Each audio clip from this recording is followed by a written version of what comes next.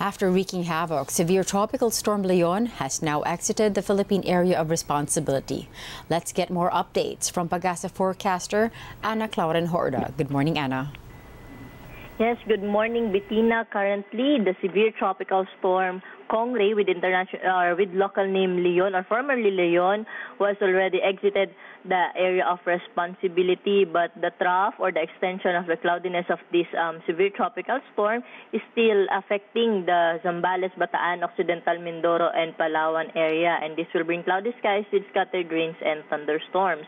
Here in Metro Manila and the rest of the country, we're expecting a generally fair weather condition aside from isolated rain showers, mostly in the afternoon or in the evening. Aside from this uh, formerly Leon, we're not monitoring uh, any weather disturbance or low pressure areas that may affect the country for the next three to five days. And that's the latest from Pag-asa. This is Anna Clauren. Good morning. Thank you very much for the update, Anna. Have a great weekend. Turning now to the latest on the weather. Violent winds and heavy rains battered the province of Batanes due to Typhoon Leon. The local government also appealing for aid amid depleting supplies. Ara Perez reports. Strong winds and rains battered Sabtang Batanes on Thursday morning. The fury of Super Typhoon Leon can be seen in this video shared by Bayan Patroller Zoren Abanyo. Rains and strong winds also whipped the municipality of Basco. Nearly 500 families have evacuated in the province due to the storm. Electricity is down since Thursday noon and water supply is limited since many water pumps depend on a power supply. Communication lines are likewise unreliable. Affected residents are appealing for additional food packs, saying aid delivery is not consistent due to the effects of successive storms. The Department of Social Welfare says relief supplies are on the way, but it admits the weather will be a factor. Nanawagan na po ako sa DSWD at saka ho kay uh, uh, Yusek Nepomuceno at saka ho kay Secretary uh, Chidoro uh, ng uh, sana po may makapagpadala ng uh, C-130 dito para makapagdala po ng uh, uh, uh, family food packs po dito. Uh, huwag ho kayong mag-alala at uh, pilitin ho namin na maibigay ang inyong mga pangailangan. Right now, meron na po tayong nakasakay na 5,500 family food packs sa PCG vessel. But uh, hindi po kasi siya makadiretso ngayon ng Batanes. Currently, nasa Pangasinan na yan. But uh, we are we will coordinate with the Office of Civil Defense kasi pag nag-clear at mas mabilis po tayo makapagpalipad uh, through C-130, definitely magdadala na po tayo agad sa Batanes. Governor Cayco is also appealing for government assistance in building houses for the victims of the recent Typhoon Juliet. The Office of Civil Defense vows to extend assistance to communities affected by the typhoon even as government continues to assist victims of severe tropical storm Christine. Sa kasalukuyan, meron tayong mahigit sa 330,600 plus families na nasa loob pa ng mga evacuation centers. Ngayon, biglang dumating naman tong Leon at hindi itong dinadanas ng mga kababayan natin lalo na sa Batanes at sa Babuyan Islands. Meron tayong response cluster at um, kahit napakalawak at napakatindi nung dinadanas natin ngayon, handa tayo pagdating sa manpower. About 50 passengers remain stranded in several ports in the southern Tagalog region due to rough seas brought by Typhoon Leon. The Coast Guard had earlier suspended sea travels in areas affected by the storm. Spokesperson Algerica Frente says they are also on heightened alert due to the expected influx of sea travelers for the Undas break. Uh, nag-augment na rin po yung ating mga oper- operational unit para ma-ensure yung security ng ating mga kababayan ng Ingay. At hindi lang po yung security, maging yung pag uh, tulong po natin sa Port Authority na may ayos yung daloy ng mga pasahero, uh, pasakay ng mga barko. So Amid all these challenges, President very, Ferdinand Marcos Jr. says uh, the government ano, is ably handling all disaster management efforts so and his administration remains in full I'll, control. I'll come back to it, Marcos uh, says resources and personnel may be stretched due to the impact of typhoons on multiple what, uh, fronts, but the, the country has sufficient assets to mitigate the, the worst impact, recover from the wreckage, and rebuild stronger than before. Ara Perez, ABS-CBN News. A search is underway for a cargo vessel that went missing during the passage of severe tropical storm Christine. The MV Santa Monica A1 was en route to Palawan Island when it went missing near Occidental Mindoro on October 27th. The ship was carrying 10 crewmen and a cargo of over a hundred water buffalo. Christine has caused widespread devastation, resulting in 150 fatalities, 122 injuries, and 30 reported missing. At least one person is dead after strong typhoon Leon with international name Kong-rey barreled through Taiwan. The storm made landfall in the mountainous and sparsely populated east coast with winds and rain affecting almost all of the island. At one point, a super typhoon, Kong-rey slightly weakened, but still packed gusts of more than 250 kilometers per hour.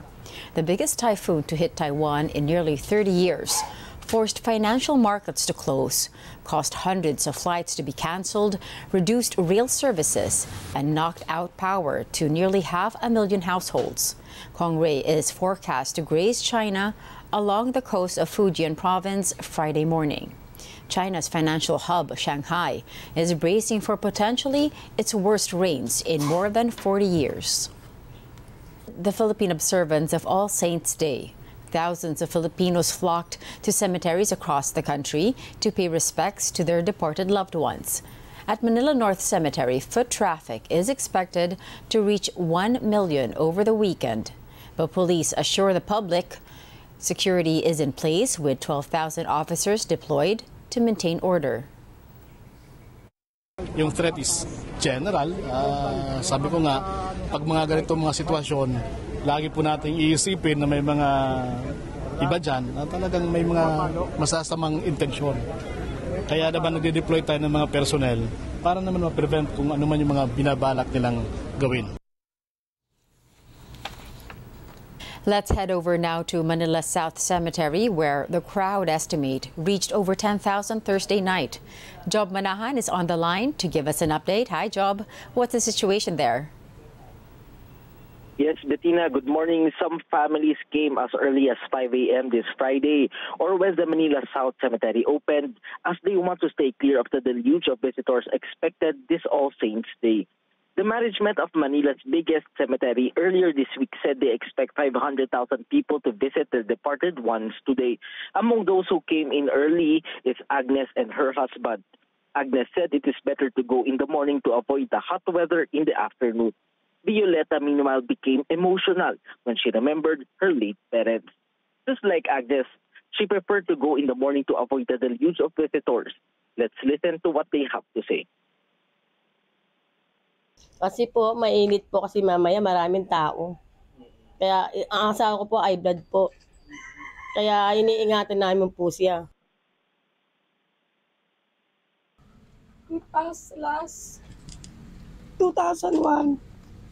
But still, then my mom, 2019, I still miss my mom. So after this, I will go to Guadalupe Shrine to visit my mom. And you know, every time I visit here after Sunday Mass, I can't hold my tears. Bettina, the Manila South Cemetery is open from 5 a.m. to 7 p.m. up until to Sunday, November 3. Those planning to visit are advised to avoid bringing sharp objects like knives, scissors, and ice picks.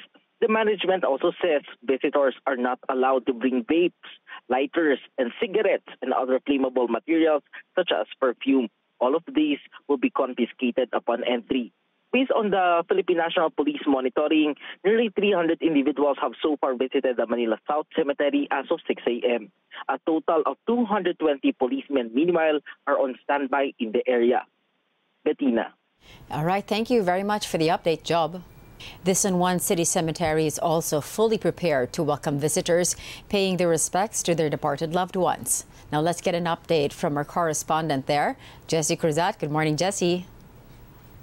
Good morning, Bettina. The San Juan City Cemetery on Colonel Boni Serrano Street opened to the public at exactly 6 a.m. today, November 1, and the cemetery will be open until 12 midnight. One of the early visitors is 60-year-old Beth Izon from San Juan City. She says it's better to go to the cemetery early to avoid the crowd.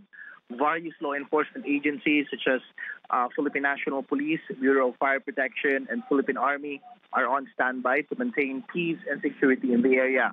A medical team is also on standby to attend to any medical emergencies. Bags and personal belongings of individuals entering the cemetery are being checked to ensure no prohibited items will be brought inside. Prohibited items include weapons, sharp objects like knives, alcoholic beverages, gambling equipment, loud radios or stereos, and illegal drugs. Unauthorized selling without permits is also prohibited. Visitors are also encouraged to bring their own trash bags to keep the, the area clean. No vehicles are allowed inside the ground as public restrooms are available within the cemetery. Bettina, yesterday, 4,700 foot traffic were recorded here at the San Juan Cemetery, but authorities expect this number to increase today until tomorrow. Street vendors are only allowed to see or to sell their goods outside the cemetery, including flower, who charge between 100 to 500 pesos per bouquet, depending on the design. Bettina, the San Juan City Traffic Department is also on standby to manage the traffic along Colonel Serrano Avenue today. Designated parking areas are also available for visitors' vehicles during this Undas. And that's the latest from my end. Back to you, Bettina. It's going to be a long day. All right. Thank you very much for the update, Jesse. President Ferdinand Marcos Jr. joins the public in marking the Day of the Dead. Marcos hopes the two-day commemoration will inspire Filipinos to become better individuals and stewards of the nation. The president also urges families to gather, visit their deceased, and offer prayers, highlighting faith, resilience, and hope as enduring national values. Now, it's also a busy week at Philippine ports. Passengers numbers at the Ninoy Aquino International Airport are expected to reach 138,000. But amid the expected exodus, NAIA faces another challenge. We'll be encountering another problem. November 1, there will be another water supply interruption dito sa Terminal 3. Pero ang maganda rito, marami nakikipagtulungan sa atin eh. Maynilad will be there. The water interruption is scheduled for 16 hours starting 2 p.m. today until 6 a.m. tomorrow, November 2. Meanwhile, it's a different scenario at Philippine seaports, where fewer passengers have been observed this year. Trips have also resumed at Batangas Port as the weather begins to clear. Report niya sa amin, hindi masyadong puno itong mga barko, no? Kaya kayang-kaya nung uh, nung existing terminal yung uh, pagtanggap doon sa mga pasahero. Konti lang daw talaga yung uh, nagpa-book for this ano for this Undas. Talagang yung influx ng pasahero ay sa holiday season pa, December. For those traversing expressways this Undas break, bring more patience with you. Traffic is expected to get heavier today until Monday, November 4. Over 360,000 vehicles may pass through North, North Luzon Expressway, while about 86,000 are expected on the Subic-Clark-Tarlac Expressway. This is 10% higher than the normal daily average. Authorities are also advising motorists to exercise caution. On Thursday, four vehicles collided at the South Luzon Expressway near the Southwoods exit. There were no fatalities, but three individuals sustained injuries. President Marcos downgrades the anniversary of his father's downfall to a special working holiday next year. The People Power Revolution of 1986 had previously been observed as a special non-working holiday. The anniversary marked on the 25th of February each year commemorates the civilian-backed military revolt that ended the dictatorial rule of former President Ferdinand Marcos Sr. Meanwhile, the third largest Philippine religious group is given its own special non-working holiday. Marcos declared the 27th of July next year as a holiday marking the founding anniversary of the Iglesia ni Cristo.